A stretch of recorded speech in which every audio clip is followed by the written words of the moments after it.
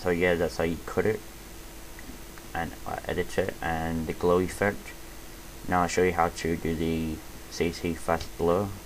This is very basic so I just select your text. Actually I'll use a flourish as well so I just highlight both just hold shift and highlight them both.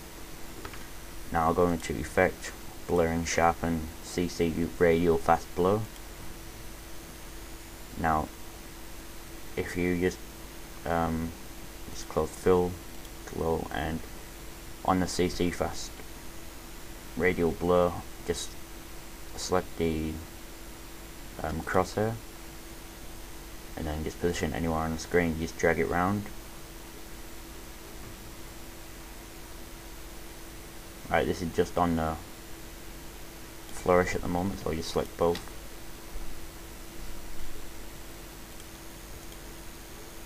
I don't think you can do it on both so.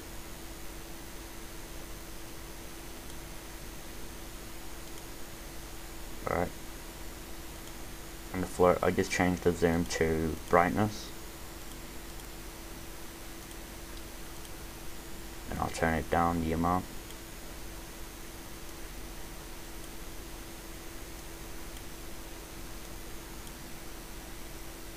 Alright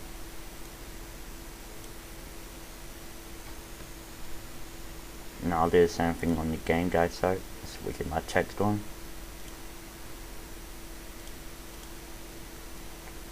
so he's drag it across. Looks pretty cool.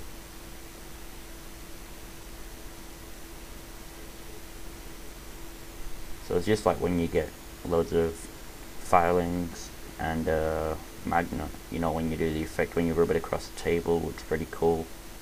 Yeah. they all follow the magnetic field alright so you leave it there.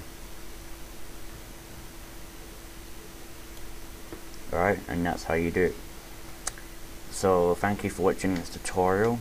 Um, once I think of something else to do I'll keep you informed. I'll post it on the website at www.gameguidesite.com on the news board.